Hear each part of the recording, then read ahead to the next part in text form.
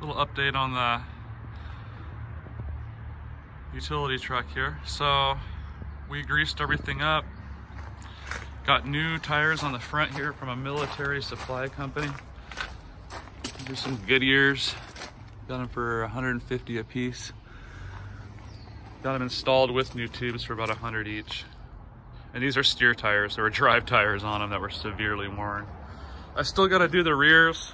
That's the best looking rear right there. But uh, the other three are pretty much wasted. Um, PTO questions. Um, this is kind of a, a, hard one. I'm not too familiar with PTOs, but I've, I've fixed a couple on lawnmowers and some other heavy equipment, but nothing like this.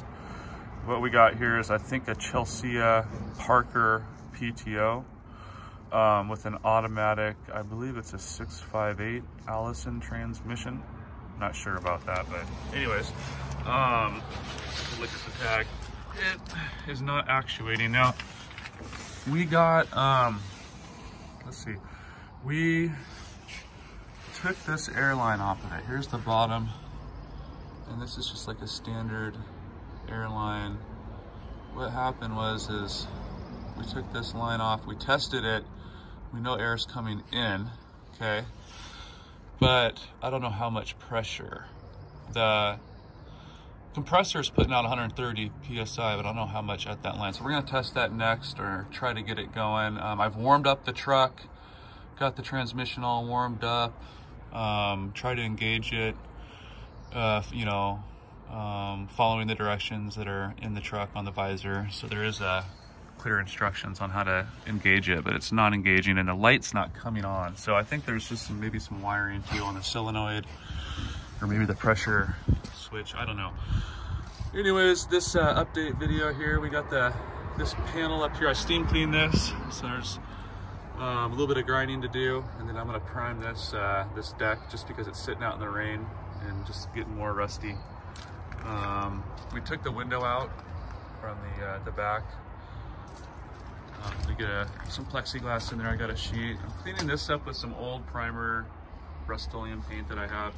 Here's the output shaft of that 18,000 pound Dayton winch that's in the back of the bed here. Um, cleaning up all the boxes, cleaning up the back here. I painted, started painting, priming the back um, bumper here. You can kind of see going good. I'm gonna take these lights off as I go. I, I found some replacements at Napa, they're LED. The boom or the turret up here, boy the lighting's bad in here. There we go. There's a drain pipe right here for the, um, underneath the turret um, or the boom for the crane.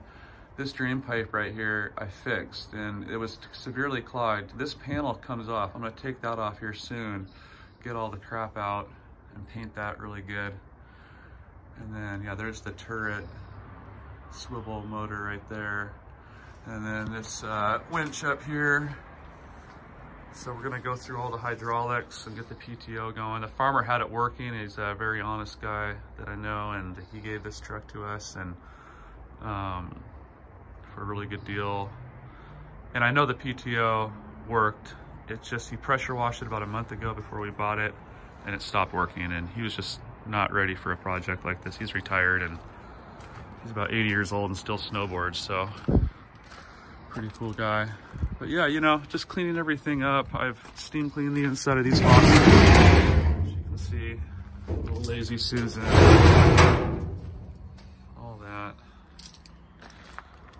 Just going through and cleaning stuff up. But yeah, you know, the truck is definitely um, going to be great for our future farm and our property development. It's got the four-wheel drive conversion. We're going to test the four-wheel drive when my buddy comes over to help me with the PTO. Um, and test all the hydraulics, get them going again. Like I said, they were working a couple months ago. So, um, yeah, that's my update video. So, you know, next video, I should hopefully have the crane and auger and everything working and this this big winch back here you know is really cool um, it can mount on a pulley here or you can mount it uh, on a pulley on the side and it'll come out that shaft I showed you in the other about a minute ago in the video clip there so uh, fun truck you know everything's looking really good. Got all the fluids changed. Got everything greased up. Check out that man. Yeah. Beefy. This company made tanks in World War II that did the conversion on this thing.